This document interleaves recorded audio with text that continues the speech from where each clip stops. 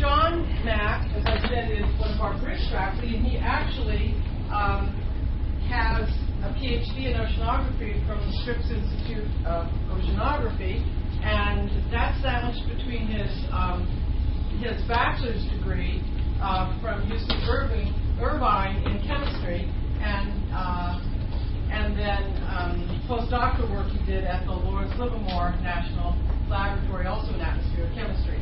Um, so today he's going to be talking about chemistry processes and um, historically, or you know what what the atmosphere was like in the past, or what processes were going on, and um, current day. So, John.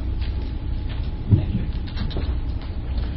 Okay, so when Josie asked me for a title, I hedged clearly. This is an extremely broad title, right? And the reason is because I've got two uh, projects which are kind of main projects for my group, and they're a little different. And so my first thought is I want to talk about everything because I love everything, uh, which means you guys are going to be drinking from a fire hose for 45 minutes, and the only person happy with that result is going to be me. So I'm not going to do that. I'm going to try to focus on one project and one experiment first, or one set of experiments first, and then if I've got time left over, we'll move on to the next one. Can you turn the volume down a little bit? Oh, I'm too loud? I get that. I have no idea. Okay. Sorry, Mary. Wait, This is a new system, so tell me what's good. Oh, so I'm like the guinea pig? What? Nothing. Yeah. Is that better? You have to get the talk. Test A, B, C, D, E, F, G. How's that? Okay. I can move this. Sorry. The other thing is while we're adjusting. Hello, hello, hello, hello. students or faculty would like to continue discussions after the seminar with John, there will be lunch in the Akubo room today. How's that?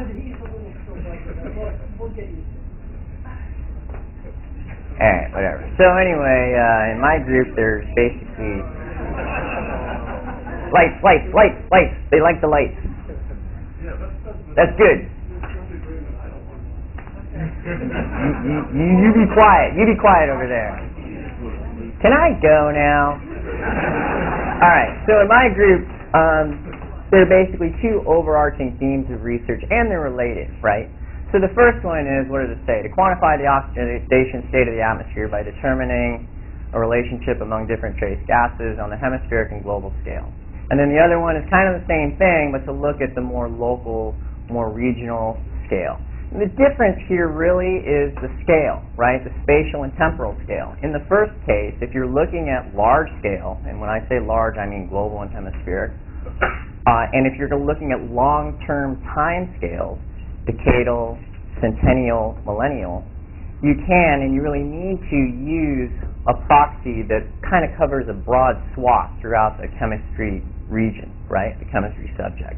And you lose the fine detail by necessity.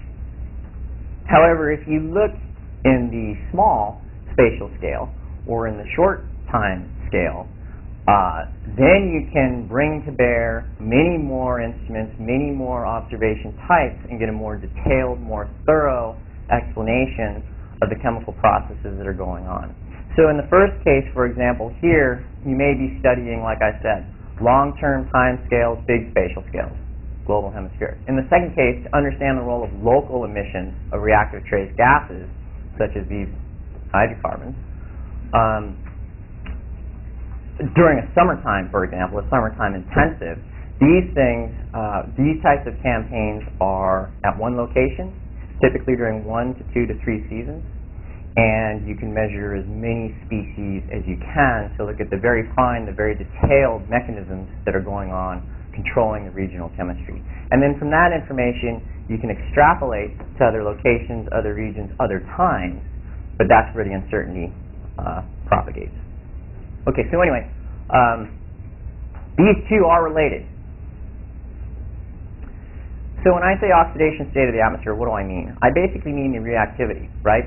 So in the atmosphere, you have um, a bunch of trace gases. Anything you release, anything whether it's coming from your tailpipe or whether you dump gasoline on the floor or ethanol or whatever outside, it evaporates. Where does it go? What happens to it? The vast majority of these reactive gases are actually um, oxidized within the atmosphere. And these processes are uh, controlled largely by hydroxyl radical OH. Hydroxyl radical is the atmosphere's most important oxidant. You know, Mary, this is probably a low battery. That's why it's buzzing. That's that's usually why. It sounds fine that. I can actually hear the buzzing now. It's like bugging me. Okay, anyway, so from a chemistry perspective, hydroxyl radical is the atmosphere's most important oxidant. It's very reactive. Its average lifetime is fractions of a second, milliseconds and therefore its abundance is very low, fractions of a part per trillion. What's a part per trillion? If you have an Olympic-sized swimming pool, you take your micro pipette, fill it up, go over to another Olympic-sized swimming pool, and put one tiny drop into that and mix it up. That's about 10 parts per trillion. So 10 to 100 times less than that is the amount of OH that you have, relatively speaking. Okay? Not very much material.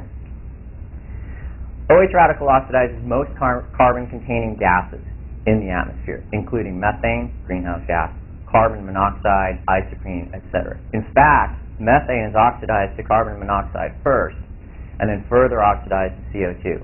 All reduced carbon-containing gases in the atmosphere eventually end up as CO2 if they remain in the atmosphere long enough. OH distribution follows the sun. If you remember just a few things from today, remember this. OH concentration and the production of OH is dependent on sunlight. It's photochemical. So, you can see that during the day, you have a lot, and at night, you hardly have any. You have some because there are some nighttime processes that can occur over land that give you a little bit of OH, but really only usually between 1 and 10% of what you normally get during the day. Not very much. So OH distribution follows the sun. Super reactive, not very much stuff. Therefore, you can see that there's a lot of spatial and temporal heterogeneity, right? The concentration of OH will go basically from 0 to 2 times 10 to the 6 molecules per cubic centimeter. That's what we use to measure OH. Uh, between nighttime and daytime, or between northern hemisphere and southern hemisphere, fall, winter, etc. So, so far, we know OH is arguably the most important reactive gas in the atmosphere. That's probably true. Its reactivity determines the lifetimes of most reduced trace gases, including methane, carbon monoxide, hydrocarbons. OH will also largely determine the formation rate of secondary organic aerosol. And so what, what is that? What do we care about? Um, why do we care about that? I'm not going to talk about this, but what that means is an aerosol, if it's light in color, it can change the radiative forcing of the atmosphere. This is probably a second order effect, but it can impact how uh, for example, the reflectivity in certain regions, right? So you can actually uh, change your radiative forcing in certain areas due to the formation of SOA, and the formation of SOA can be impacted by the chemistry, the gas phase chemistry that goes on prior to the formation of these aerosols. So what happens to OH radicals? In today's atmosphere, between one, between uh, two thirds and three quarters of all OH reacts with one of two gases, either carbon monoxide, CO, or methane. The rest, the remaining OH, reacts with whatever else is there, whether it's isoprene or acetaldehyde or ethanol, etc. If that's the case, then the abundance of these two gases in the atmosphere is going to determine how much OH there is in the atmosphere, right? If you assume that the production rate of OH is relatively constant, and then if you change the abundance of these two gases, then you will impact the standing concentration of OH. And in turn, if you increase the amount of CO and methane in the atmosphere, for example, you'll have a net decrease in average OH concentration. When you do that, you impact the lifetimes of all the other reactive gases. So it's kind of like a, a chain reaction, right?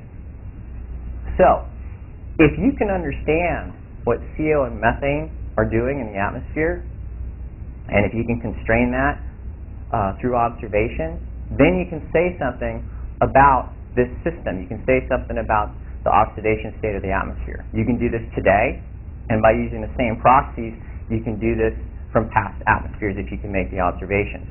Why don't we measure OH directly to do this? Well, as I mentioned before, the reactivity is super, super high, milliseconds, right? Uh, the distribution, the spatial concentration variability is super high, two to three orders of magnitude. So yeah, we can measure weights directly. First of all, it's not an easy measurement to make. You use long path um, uh, laser fluorescence, you can maybe get it over one to two kilometers distance. Uh, but those measurements, one, are very challenging to make, and two, you can only do it in a few different locations because these systems cost half a million to a million bucks a piece. And you can only do it for short periods of time because your instrument breaks down all the time. So you can't really quantify OH directly. You have to use proxies if you're interested in determining the oxidation state of the atmosphere. Again, it's a scale thing, right? Okay. So then we're going to use as a proxy for OH this system, the CO methane OH system. So the first thing you want to do is you want to constrain the system today. Do we understand the CO chemistry, the CO cycling, and the methane cycling in today's atmosphere? To answer this question, we go all around the world, we measure CO concentration over time, and we measure the isotopic composition. The reason why we measure the, the isotopic composition is because the abundance of stable isotopes gives us information on relative source strengths of varying sources of CO. We're going to focus on carbon monoxide today. A lot of studies have also been done on methane. We do some methane work, but primarily we're um, more focused on CO. So let's just look at CO then. Carbon monoxide has four big sources. If you know these four big sources, you got about 85 to 95% of the budget. These four sources in no particular order are methane oxidation, non-methane hydrocarbon oxidation, so any hydrocarbon that's not methane, fossil fuel combustion, straight out of your tailpipe, and biomass burning. Now, I've plotted this on an isotope plot where you have delta C13 and delta O18 on the y and x axis. So for each major source, you have a specific isotopic signature, stable isotopic signature. Don't worry about the deltas, don't worry about the per mil. What's, what's important to remember here is you have these distinctions in some cases. For example, uh, delta C13 or the car carbon-13 abundance in atmospheric methane is low compared to other sources of CO. It has a delta C13 of about minus 52. Delta C13 in the atmosphere is around minus 47.5 per mil, and then there's a kinetic isotope effect upon the methane OH reaction that further fractionates your methane-derived CO. Bottom line is, your methane your, your methane-derived CO is very depleted in the minor isotope carbon-13. At the same time, your oxygen 18 from methane oxidation is pretty light. It's around zero with respect to SMOW, standard mean ocean water. Let's look at some of the other sources. Non-methane hydrocarbon oxidation has a similar and analogous pathway of oxidation as does methane. So the oxygen isotopic signature is similar, right around zero, but the carbon isotopic signature is a bit more enriched. If we look at oxygen 18, you can see that a combustion source, a burning source, whether it's fossil fuel, biomass, or whatever, is enriched in oxygen 18, between, between around plus 18 and plus 23.5 per mil. And the reason for this is when you burn a tree or paper or whatever, you're incorporating atmospheric oxygen to the carbon dioxide that's, that's uh, produced, or carbon monoxide, right? CO is produced from incomplete combustion. So because you're incorporating atmospheric oxygen, which is enriched in oxygen 18, your product then becomes enriched in oxygen 18. This means that we can actually use some of these stable isotopes to help distinguish between different sources. For example, carbon-13 is really useful in distinguishing your methane-derived CO from everything else. There's a big difference between this guy and everybody else up here. Oxygen 18 and the abundance of oxygen 18 is very useful in distinguishing combustion-derived CO, whether it's from biomass burning or fossil fuel combustion, compared to atmospheric processes, oxidation by OH. Oxidation is primarily driven by OH, right? So that's the take-home point, is that oxygen 18 is good for distinguishing combustion versus non-combustion sources of CO, and carbon-13 is good for distinguishing methane-derived CO from everything else. Oh, I have to go there. Okay, so, so what do we do now? So like I said, we go around the world, we measure the concentration and abundance of CO over time. We do this in, uh, you know, places like Mauna Loa, because I really like Hawaii, Barbados, because sometimes Barbados is nicer than Hawaii, uh, Iceland. I don't know why I went to Iceland. And uh, Baring Head, New Zealand. We're trying to get a latitudinal distribution right. So we go high latitude, mid latitude, low latitude, northern hemisphere, southern hemisphere. We make all these measurements. We take monthly means, etc. And then we use uh, computer models to simulate our observations. Now, the computer models initially are completely independent of our observations. We use for these uh, uh, simulations Mozart, the Mozart model, which is a CCM. It's a 3D CCM using climatological winds out of NCAR uh, with my uh, colleagues at NCAR. And you can see here that the forward model simulation, so what they do is they, they have this very sophisticated computer model into which they put our best known guesses for spatial and temporal emissions for every source of carbon monoxide. So you just generate all this CO. You say, all right, we got fossil fuel coming from the mid-latitude northern hemisphere from Europe. We got biomass burning from Brazil, particularly during the dry season, etc. And these emissions inventories, a lot of work has been put into these emissions inventories, and they're our best guess in terms of what's going on in today's atmosphere. So you take all these different inventories, you stick them in the model, you run the model, and then you go to different places in the model and say, okay, what does CO look like here? What does it look like here? And you simulate your observations. But the initial model run is independent of our observations. So the initial model run is shown in the uh, blue line. And you can see, in some cases, initial model runs are really good. This is Mauna Loa. This is Barbados. Um, I'm talking just for concentration now. And this is Iceland and this is Baring Head. That looks really good. However, when we first started doing this work, we were the only ones measuring the isotopes of carbon monoxide. And you can use these models to simulate the isotopic composition of CO as well. That's something one of my grad students did. Uh, he graduated a couple of years ago at Gilman Park. And uh, you can see that the model simulations aren't quite as good. Again, it's the blue line, right? And the reason for this is because nobody really looked at the constraints. But in some cases, particularly in the northern hemisphere, uh, mid-latitude, high-latitude northern hemisphere, and southern hemisphere, the simulations aren't too bad for oxygen 18 either, but they could be improved. So that's where we perform inversion analyses. That's where we take our observations, we use them to be able to tweak the emissions inventories within the model. We recalculate, and then we come up with a new um, inversion result shown in the pink here. So you can see that uh, by doing this, by actually applying our observations to the model results, we can then improve the model performance by slightly modifying, using the Kalman filter technique, the uh, emissions inventories for the different sources of CO. and then you get the pink line here and here. Bottom line is the uh, inversion improves the oxygen 18 simulation and doesn't make worse the CO concentration uh, simulation. And you can think of oxygen 18 in CO and CO concentration as two separate tracers, right? You can treat them as two separate tracers. So it's an additional, it's truly an additional constraint.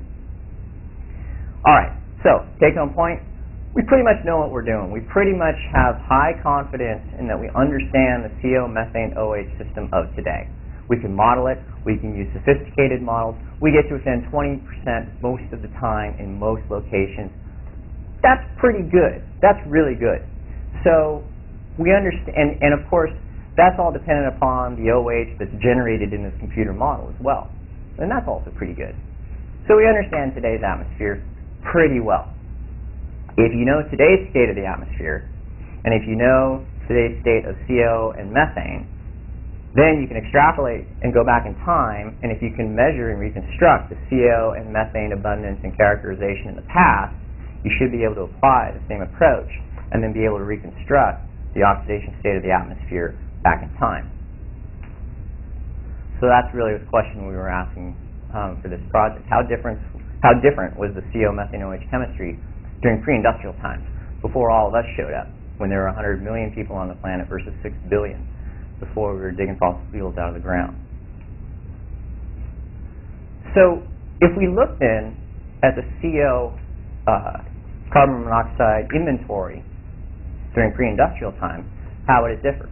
Well, you're not going to have any fossil fuel, right?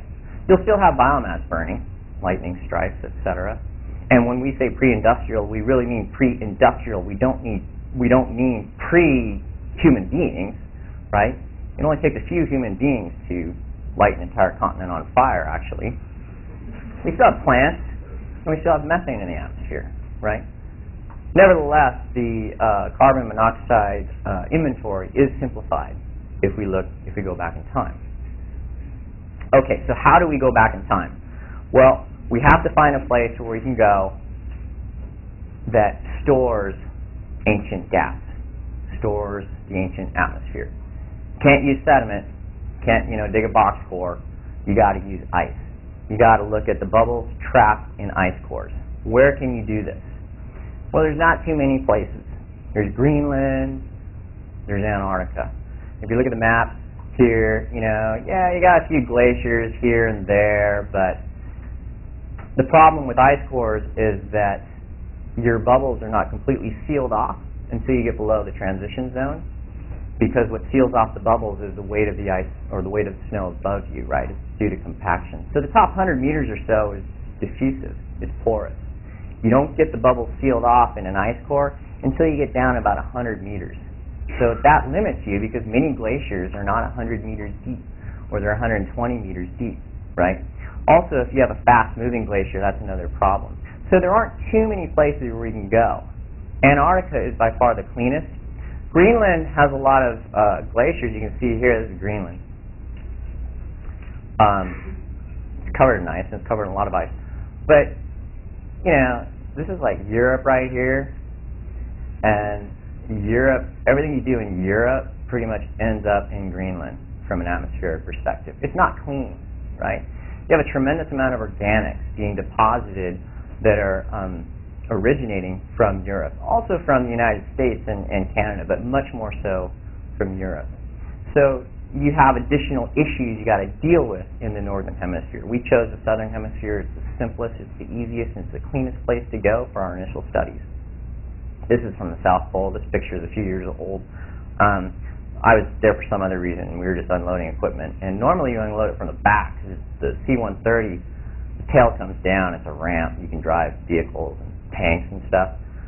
And so you normally unload it from the back, especially when these engines are running. But for some reason, we were unloading it from the front, and I can't remember why. They, they must have been doing something back there. But I remember this guy was helping me out, and he had wintered over at South Pole at the time, and you got to be a little. Uh, charismatics winter over at the South Pole. This guy was like, "Oh, I love this work.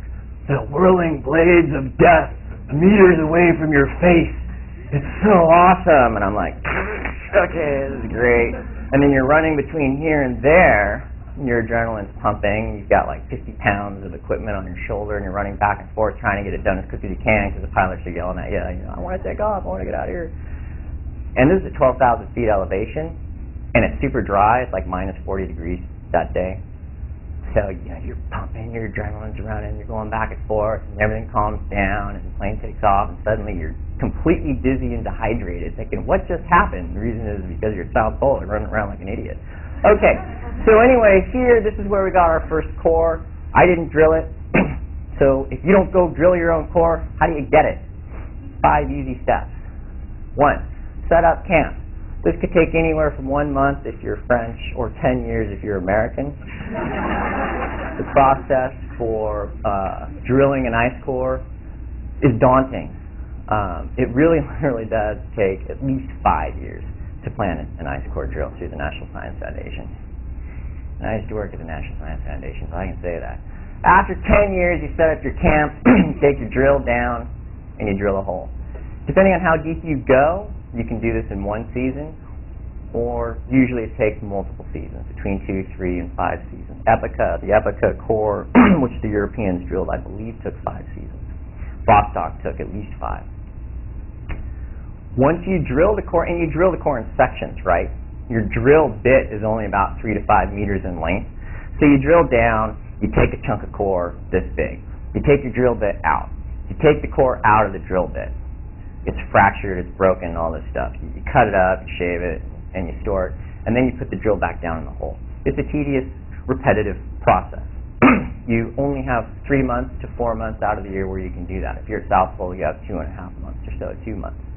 uh, because otherwise it's dark and nobody likes to work in the dark.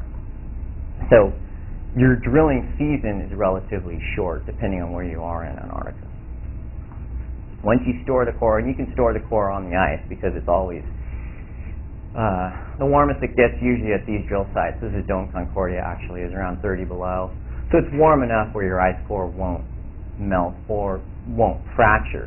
And don't forget when you pull these ice cores out of the ground, they're used to being under pressure, right? And the pressure increases with depth. So it's like pulling, you know, for all you fish people, it's like pulling some benthic angler fish, right, from the bottom and ripping it up with a net and throwing it on the boat and see what happens to it. What happens to it? Blows up. So the same kind of thing can happen with the core. You pull it out of the core, and if it warms up slightly, the strength of your ice decreases, and it'll start to fracture and stuff like that. So you don't want that to happen. Anyway, you store the core, hopefully for just one season, sometimes two or three, and then you get it off the ice. Typically, you use an aircraft. It's a deep field put in, you go to the uh, you go to McMurdo and they stick it on a boat. Then you get your core back at your lab. You got guys like me calling you. Hey, how's it going? How'd last drilling season go? You got any ice for me? And then they send you the ice. Now, uh, actually, it's not that bad. NICL, the National Ice Core Laboratory in Denver, does have ice. They, there's an online website. You can see what ice they have. If you want a chunk of ice, you write a little letter or proposal. There's a request form. You say why you want it. It's evaluated by a committee, and then they allocate ice to you. If nobody used the ice, people would not have an excuse to go back down to the ice to get more ice. And all these ice people love to go to Antarctica and drill, so they don't mind giving you ice.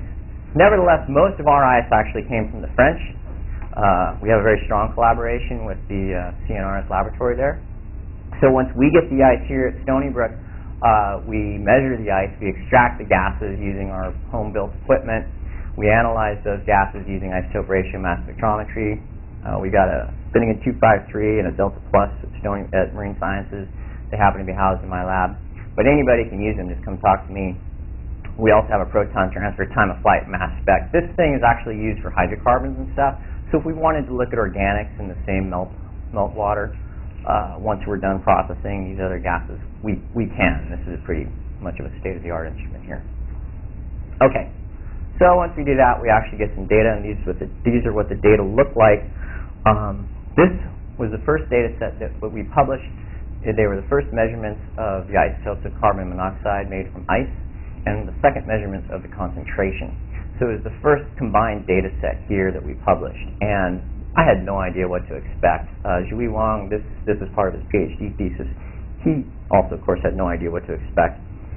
And I didn't have the heart to tell him when I was thinking about this project. I'm like, man, there's probably around a 60% chance that this is either not going to work or the results are not going to be interesting. So, uh, turns out, turns out it worked. Amazing and it turns out that the results were really striking. This sort of trend, uh, this data set is probably the most interesting data set that's come out of my lab. Uh, this, this sort of trend over the last 650 years is something that we we didn't envision, we didn't predict, or anything like that.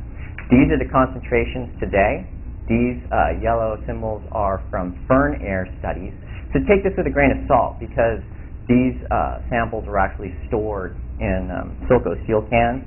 And I've worked with these Silco steel cans. They're problematic. Uh, the X here is what you get if you go down to South Pole or Arrival Heights in Antarctica today and measure the concentration. Uh, this is an annual average. So you can use this as a comparison. We measured uh, concentrations in the isotopes of CO from uh, two different cores. This is from the South Pole ice core an old South Pole ice core, and the uh, clear diamonds are from D47, which is from Dome C, Dome Concordia. CO concentration, you see this saddle type uh, uh, trend here. So working back 650 years, it seems like the concentrations around 650 years ago were similar to what we have today. And pre-industrial, they're similar to what we have today. But in the middle, we saw this significant decrease, almost a factor of two in CO concentration. This is accompanied by um, a fairly strong correlation with carbon-13, and it was accompanied by a fairly strong correlation with oxygen-18. So there's a story here. We just have to tease out what it is.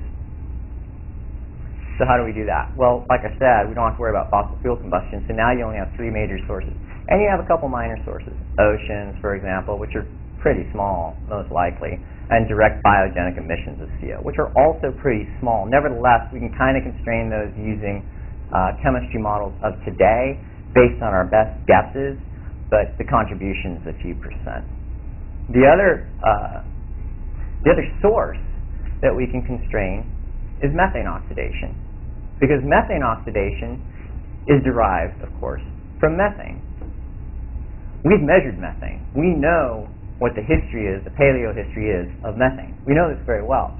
This particular record is from Dom Ferretti. He published this in 05. Um, uh, he was in New Zealand, then he went to Australia, and now I think actually Dom married a very wealthy woman, so he's retired now at 38.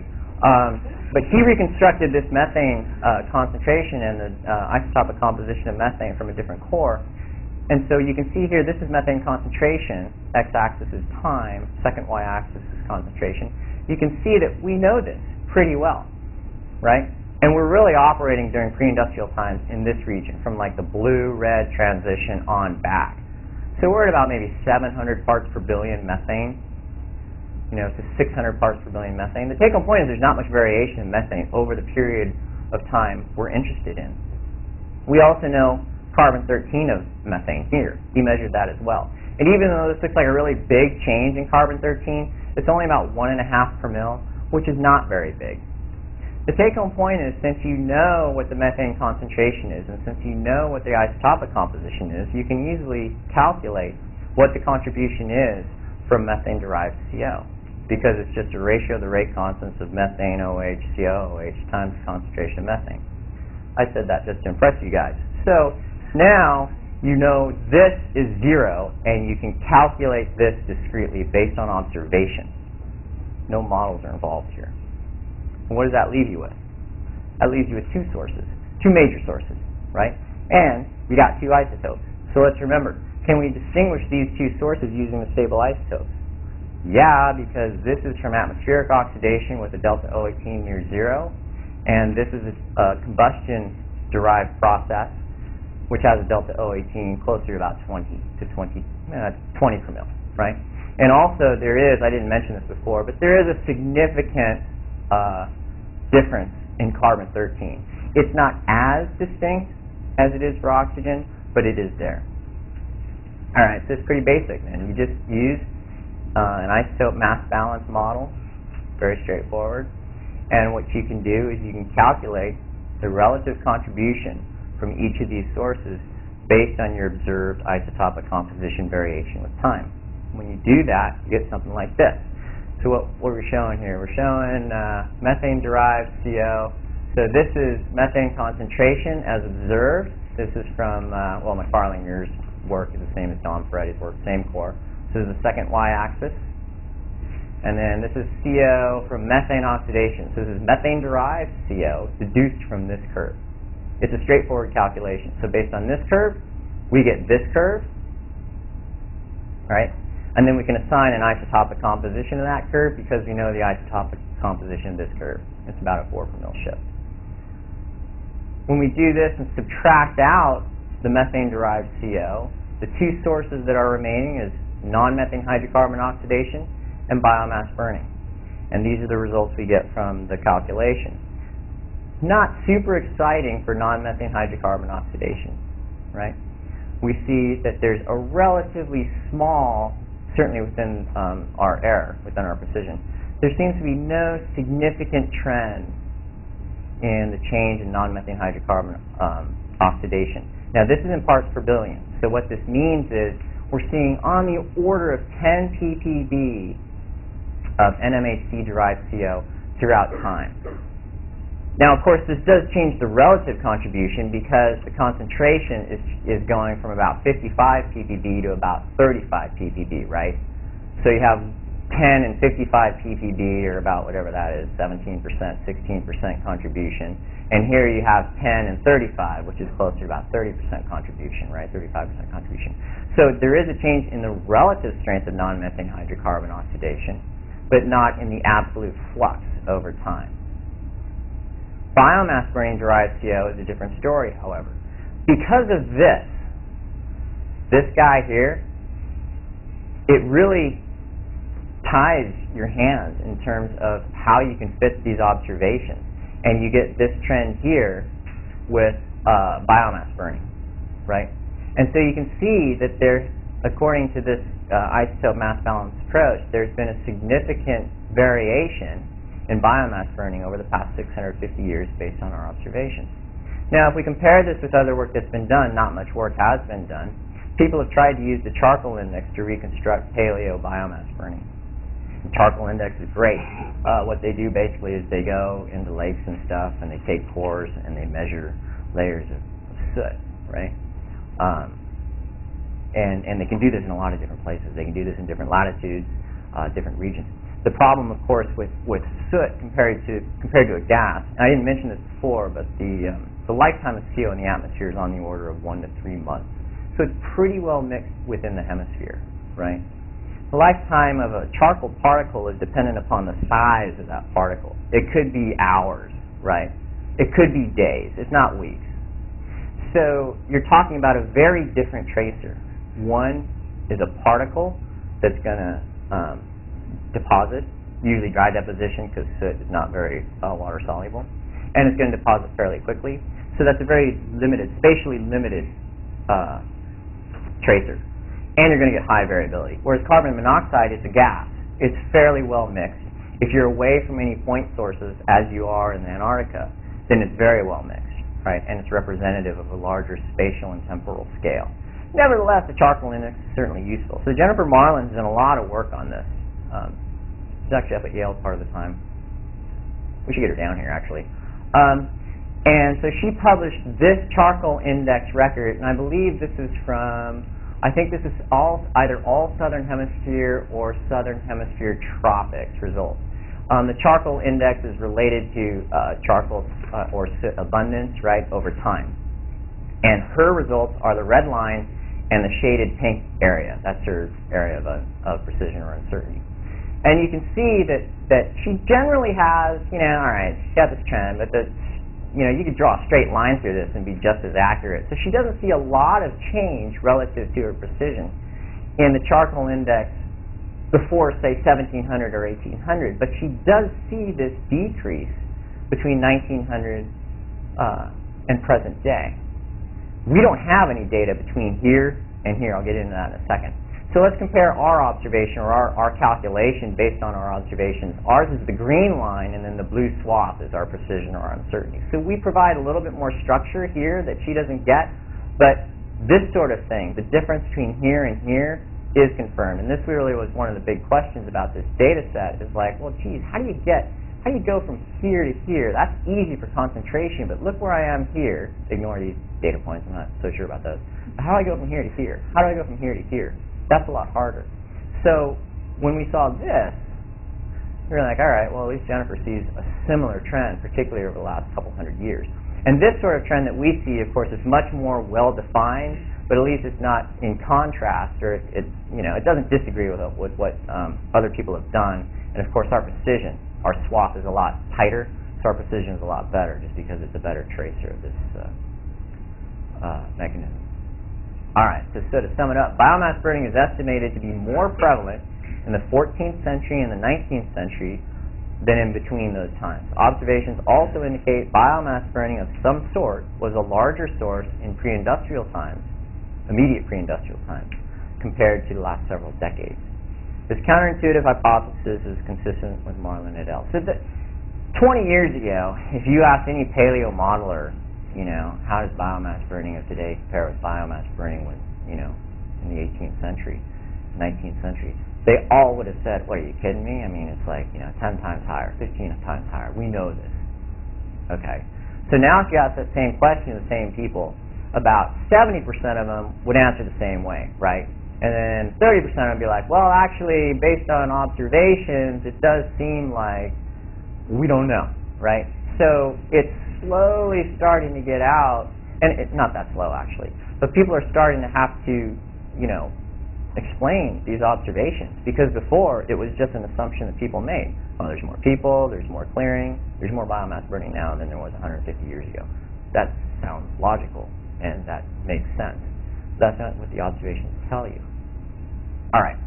So, and I'll get into maybe why that was in a second. Um, this gap here, what's going on? I don't know. It's going to be tough to explain. Uh, we can't be more recent than these data points within ice, right? Because what you need is you need the snow to fall very quickly for you to compact 100 meters. So you can imagine then that um, when you get below the transition zone, so you got your firn air and then you have your ice, the ice starts forming at 100 meters. Well, it takes time to get that 100 meters, right? So the greater deposition rate you have, the younger the air is trapped at the top of the ice core. But even where you have high deposition rates, you're still talking about like 50 to 80 years of age right there. And then you're integrating too because it gets complicated. But the point is, you can't really reconstruct this area using bubbles and ice. You got to use firn air. Firn air, as I mentioned, that's the area above your ice. That's porous. It's not closed off yet. So as it compacts, you can see that the porosity is going to change. Well, now I can I can dig down 80 meters and I can stick a bladder there and I can suck out as much air as I want. But where is that air from?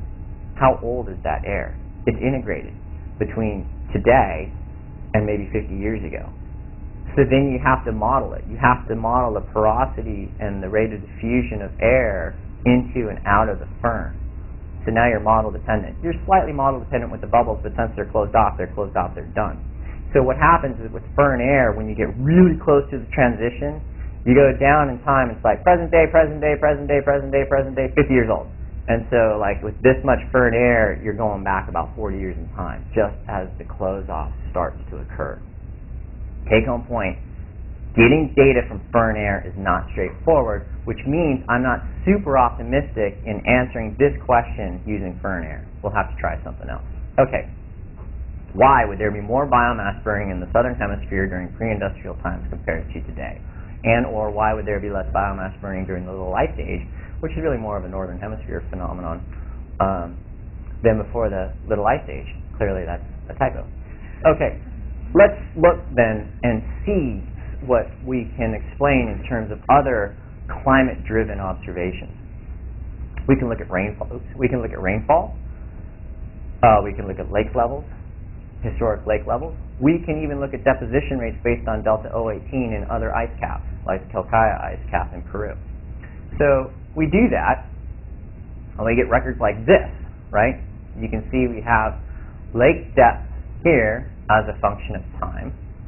This is from East Africa.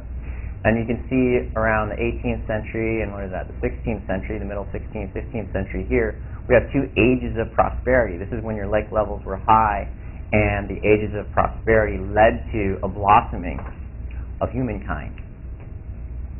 You can look at other records like this. This is the Quelccaya ice cap core from Lonnie Thompson.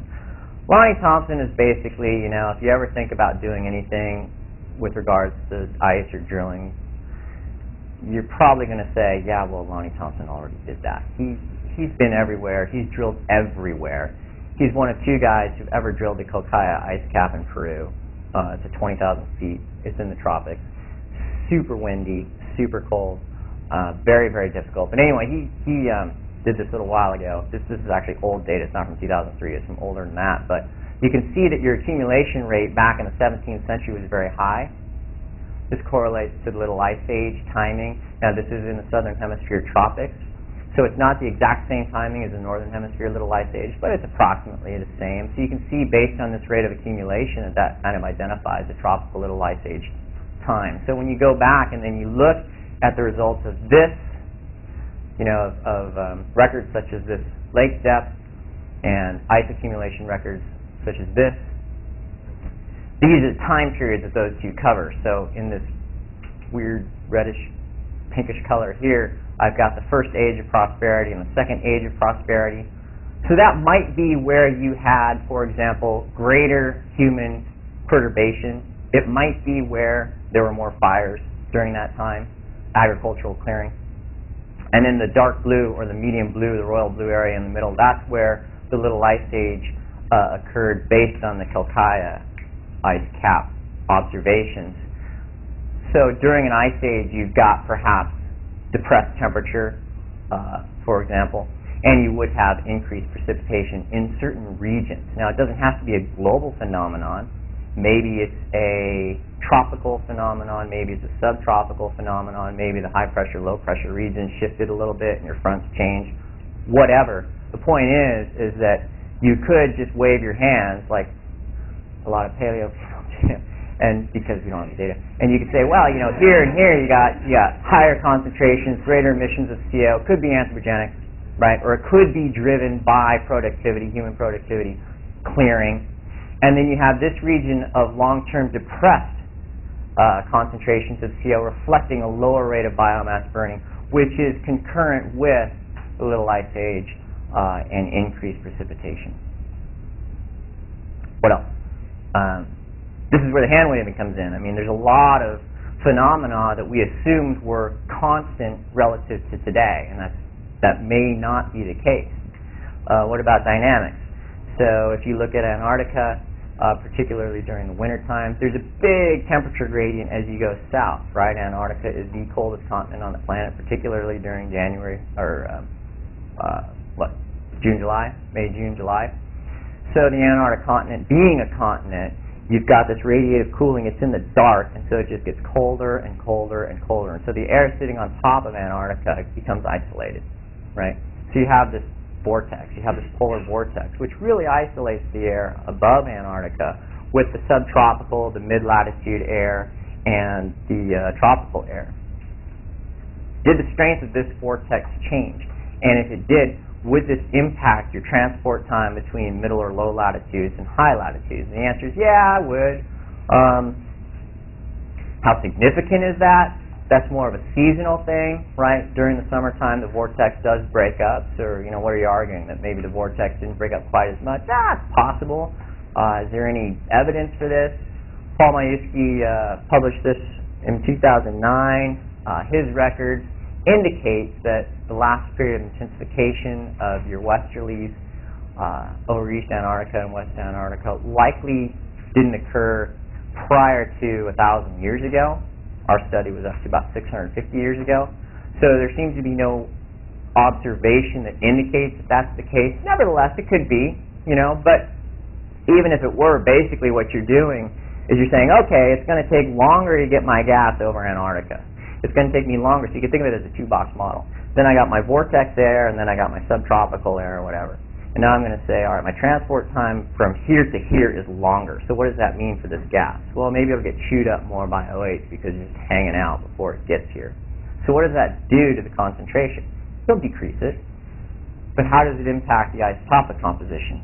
It actually impacts the isotopic composition in a very predictable manner and that predictable manner is not reflected in our observation. And that's all I'll say about that. So it doesn't seem like that's really a reasonable thing, um, a reasonable explanation. Plus, if you look at the data one last time, you can see that it's a fairly consistent pattern over hundreds of years. Okay, what else? Oh, that's about it. So then, uh, what are we doing now? We've got a new ice core in our lab. This is from my colleagues in France. It's a brand new core which dates back to about 5,000 years. So we're going to continue this work but extend the record further back. Um, initial results are terrible, but um, I think we've got a handle on it now. So hopefully in the next few months we'll be able to make some headway on that. We also have a proposal for the South Pole ice core drilling that's occurring this season. This is a two-year project. It's been about six years in the making. Eric Saltzman at Irvine is the PI. He's going to head down there next month, I think, or uh, no, October, and they'll start drilling. So if we're successful with this proposal, which we should hear about next month, we will re- start receiving ice in the spring. We are asking for about 30% of this core. There are about 20 investigators who want ice from this core. So, you know, we're definitely drinking heavy from the trough. But we need that much ice for these kinds of measurements. And since we're the only ones who can make them, and since it's kind of interesting to everybody, uh, we're optimistic that we'll get it. Okay. Don't go anywhere because really this is kind of what I wanted to talk about as well. So when we talk about oxidation state of the atmosphere, this is one of the applications. But another application, as I explained, is looking at those specific points in space or time. Forest emissions, biogenic emissions, is of real interest to the atmospheric chemistry community because what, what is emitted from these trees, in particular isoprene, the monoterpenes, and other hydrocarbons, dominates the chemistry that occurs within this area, which means it dominates the chemistry that occurs in the southeastern United States. Now, there have been a number of reports recently showing that the temperature trend in the southeastern United States has been either negative or a lot smaller than other parts of the United States. So the question is, is why? What's going on with the radiative forcing occurring in this region of the country? And one hypothesis is you've got isoprene, and this is the hotbed for isoprene. You have a tremendous amount of isoprene being produced. That isoprene is being oxidized, and then um, some of it is forming aerosol, and that's increasing your forcing thereby leading to a feedback for temperature. It's probably wrong, but it was a great hypothesis. and NSF went for it, and so they supported this huge, huge project. There were like maybe 30 universities, half a dozen trailers filled with $30 million worth of equipment, including ours. Um, and, and of course, the scientific uh, focus was uh, there were a dozen big foci for this project. Our focus was on looking at the biogenic emissions from the forest right? And so what we did is we developed new instrumentation. Uh, it was aircraft instrumentation. We asked the question, what, the, what is the vertical profile of these trace gases above the forest? You can stick a tower in this forest, and we do that, right up to about canopy height. So we know very well the mixing and the production of gases within the canopy. But what happens above the canopy as this stuff mixes out of the, of the forest, out of the trees? It's going to react. But how? How much? What does it look like? What do the concentrations look like? What do the vertical profiles look like above the canopy? We have no idea. This is state of the art before we started doing our work, and you can see that the observations are all over the place. It's basically a shotgun scatter plot. We can't really constrain what's going on just above our towers. So we decided to design a system for this airplane that I like to fly, and this system grabs basically a core of air from wherever I start, which is maybe like 50 feet or 100 feet above the trees, to about 2,000 feet up, or as close to the top of the mixed boundary layer as I can get. So we designed, built a system, stick it on a plane. This is what the plane looks like. This is the plane that we used down there last year for uh, this particular intensive. This is the new aircraft that we got. It's about twice as big, so we can put more stuff in it. We go down there, we fly this plane, we do vertical profiles, we got this tower, so we're measuring concentrations of the reactive gases there. We got this trailer. My senior graduate student, Lu Ping, is stuck in this trailer. I'm stuck in the plane. We got Kim, who drives the sample back from the airport to the trailer. It's all a big production. This is what it looks like in the plane.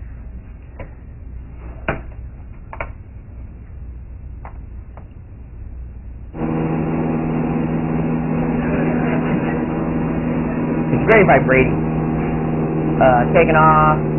This is Bates Field in Alabama. Climb, climb, climb, turn left, and then get to hyperspace, transport button, and miraculously, boom, I'm on site. One, two, three, there I am. And then I start collecting my sample. I punch a button,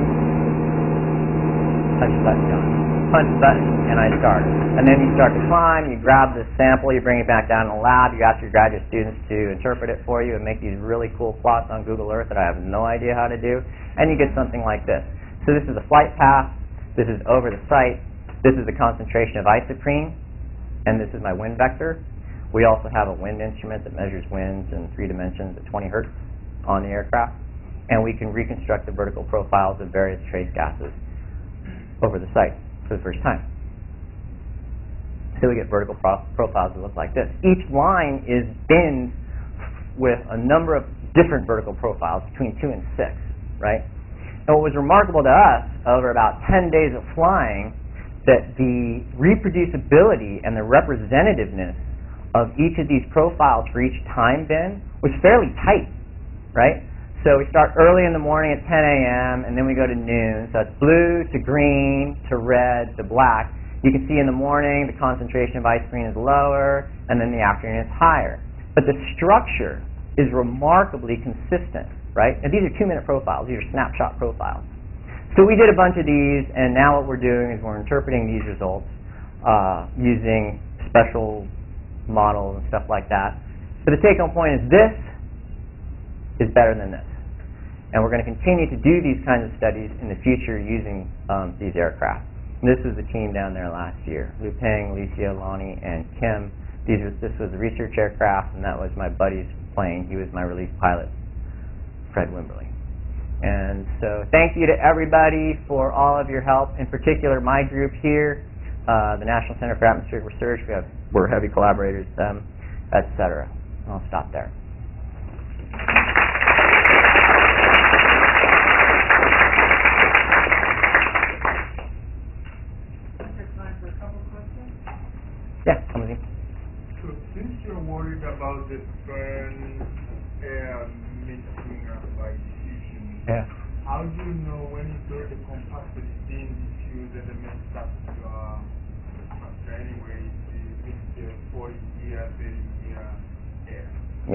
So your air bubbles are integrated over time, right? I didn't point that out. It's a good thing you, you brought it up. But the integration time is on the order of 30 or 40 years, depending on the deposition rate uh, of each bubble, right? So each sample, and uh, not each bubble, but of each sample. So our, our samples are about uh, six inches long. So depending on the deposition rate, that's about 80 years at South Pole, 60 years. So each sample is an integration of those 80 years. Local condension. Right, right. Yeah, okay. Yeah, I wonder, do you have an idea about the spatial uh, variation? Because uh, there's such a huge change in environment, uh, burning. Yeah, yeah, And in particular, I'm curious about this, what you call the charcoal index, yeah. because they Yeah, right. Right. So, so there's two things I would say. The charcoal index, you know, you take a bunch of lakes, right, and then you measure right around those lakes. That's actually a very um, spatially limited uh, tracer, and it's heterogeneous. CO, once you get to the mid-latitude, southern hemisphere in particular, free troposphere, it's well mixed because you're away from any point sources like in the tropics, et cetera. So by the time you get to Antarctica, I mean, we've been measuring, me and my colleagues have been measuring CO concentrations at arrival heights, which is like right around here, for like 20 years. And we never see, the only time we see enhanced CO is when the winds are coming from McMurdo. My problem, your problem is, So it's well mixed. Give you the right question. Actually, I'm uh, asking the opposite. Oh. I'm curious where, where there might be major spatial variation of style. uh, Ah, okay. I- Well, in the tropics. Civilization must know that, right? Yeah. If you know, say, in Africa or somewhere, it's such a huge change. um, Yes, uh, yes, it's seasonal and it's spatial, for sure. Um, yeah, you know, Brazil, uh, you can do fire counts now with satellites, right? In the past. In the past, uh, so in the past, actually, there's there's a couple of really good books I can show you later. But uh, in the past, people reconstruct um, biomass burning based on civilizations, right? So if you if you talk to anthropologists and stuff like that, they're quick to point out that this region here actually was was um, there were a lot of people in this region in the 16th century, even in the 13th century, and so you can't quantify it, right? But you can find evidence of agricultural activities, et cetera. That's a little more hand waving because it's really hard to get a number, but other than that, you're kind of limited. The charcoal index does help if you got a lake around you. Okay, so those